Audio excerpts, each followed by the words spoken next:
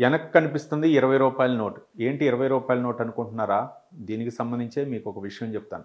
పంతొమ్మిది వందల తొంభై మే ఆరు జరిగిన ఒక ఈ ఘటన అనమాట బీహార్లోని సార్సా అనే పో ఒక రైల్వే స్టేషన్లో ఇక్కడ కూరగాయలు అమ్ముకునేటటువంటి ఒక మహిళ సీతాదేవి సింగ్ అనేటువంటి మహిళ కూరగాయల మూట తీసుకువెళ్తుంది ఒక రైల్వే స్టేషన్లో సాసరా రైల్వే స్టేషన్లో.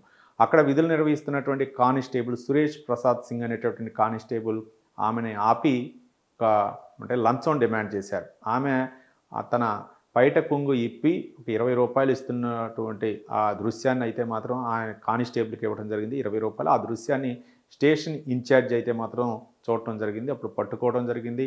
రెడ్ హ్యాండెడ్గా అతని నుంచి వాంగ్మూలం తీసుకున్నారు. మొత్తం జరిగిపోయింది. తర్వాత అతను పంతొమ్మిది వందల తొంభై తొమ్మిది వరకు కూడా బెయిల్పై తిరుగుతూ ఉన్నాడనమాట స్టేషన్ ఒక పోలీస్ కానిస్టేబుల్.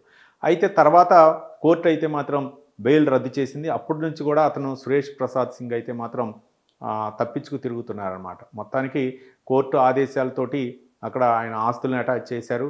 అలాగే డైరెక్టర్ జనరల్ ఆఫ్ పోలీస్ని అయితే మాత్రం ఆదేశించడం జరిగింది. మొత్తానికి సురేష్ ప్రసాద్ సింగ్ అయితే మాత్రం పట్టుకొని అతనికి అయితే మాత్రం ఈ ఇరవై రూపాయలు దాదాపు ముప్పై సంవత్సరాల క్రితం జరిగినటువంటి ఘటన ఏదైతే ఉందో అప్పటి నుంచి కూడా అతను తప్పించుకు తిరుగుతున్నాడు. ఈ ఘటనకు సంబంధించి ఇరవై రూపాయలు లంచం తీసుకున్నటువంటి నేరానికి అయితే మాత్రం అది నేరం. అంటే చిన్నదా పెద్దదా? ఇరవై రూపాయల ముప్పై రూపాయలు అనేది కాదు మనకు ముఖ్యం.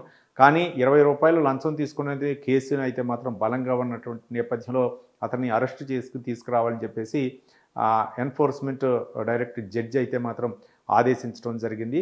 ఇక మొత్తానికి పోలీసులు అయితే మాత్రం రంగప్రవేశం చేశారు. ఇక సురేష్ ప్రసాద్ సింగ్ ఎక్కడున్నాడని చెప్పేసి చాలా వరకు కూడా ఆయన యొక్క సెల్ ఫోన్ ఆధారంగా సెల్ ఫోన్ సిగ్నల్స్ ఆధారంగా ఎక్కడ చేసింది ఎక్కడ దొరకట్లేదు.